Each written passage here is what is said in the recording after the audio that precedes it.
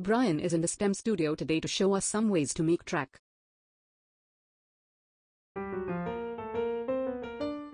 Paper roller coasters need a lot of track. Here's a piece of straight track. I've made it from 1 quarter inch graph paper printed on cardstock.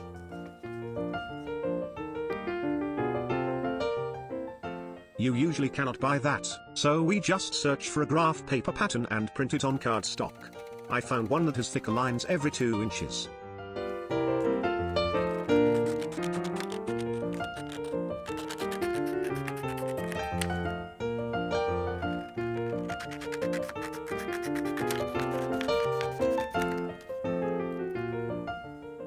We crease and fold two squares width for each railing and leave four squares for the roadbed.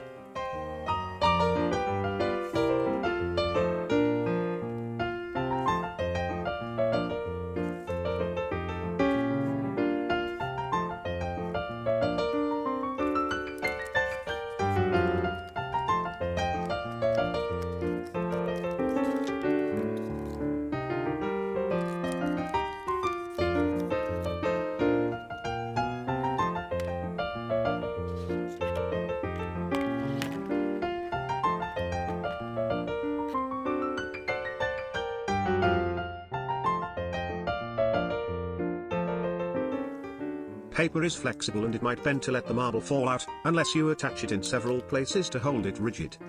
You can make track stronger by closing the starting end.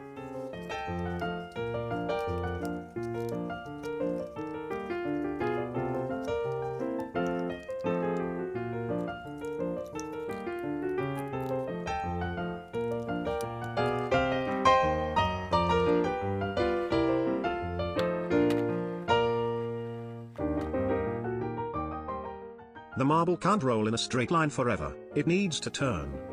There are many ways for students to make turns themselves, but to speed the process up, we can hand out track with these cuts. It can still be used as straight track if that is what is needed. Or, the end can be made into a curved railing that guides the marble out a side exit.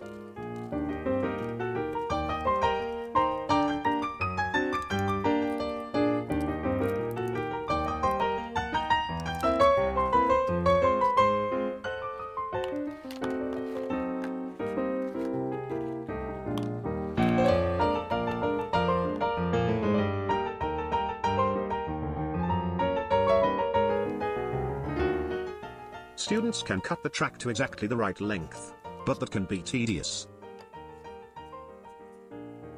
If you attach another layer of paper underneath by taping it at the railings, then you can combine two short pieces of track. The two pieces can slide to become exactly the right length.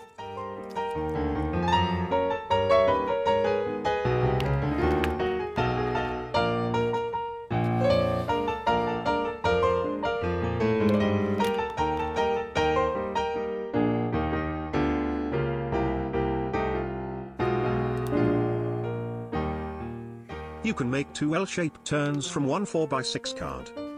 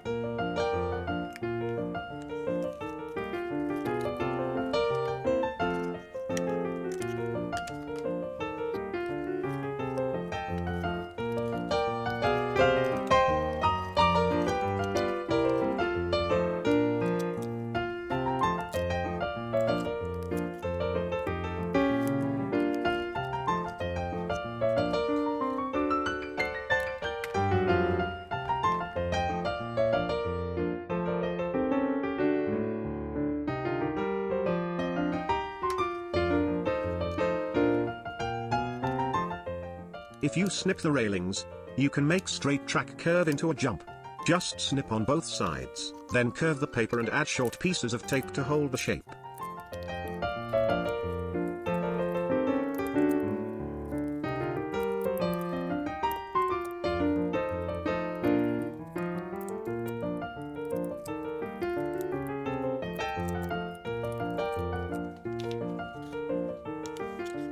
That's too steep.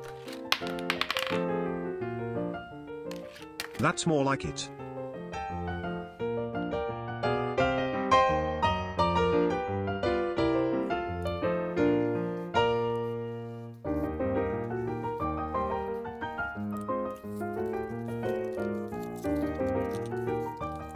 If you snip one railing and cut across the roadbed, then you can curve the track.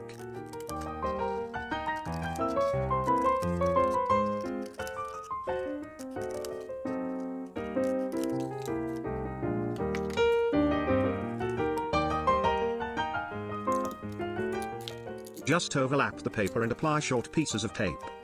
You can make a gentle C curve or an S curve. For a tighter curve, cut out V-shaped sections.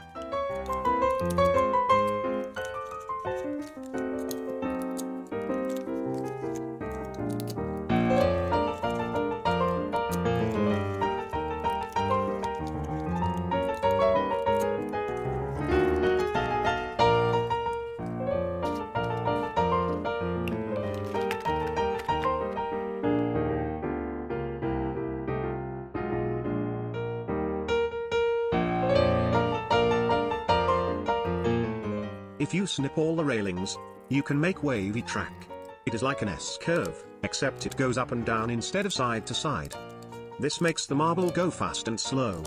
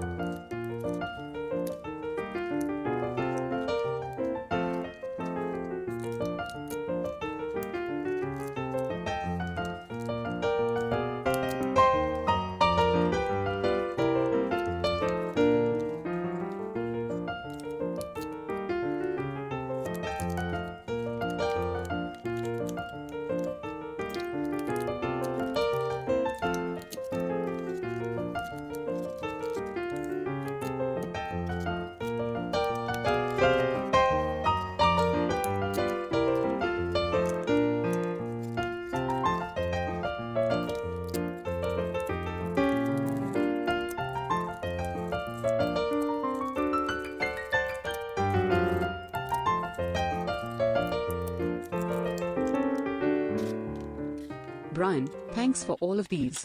My pleasure.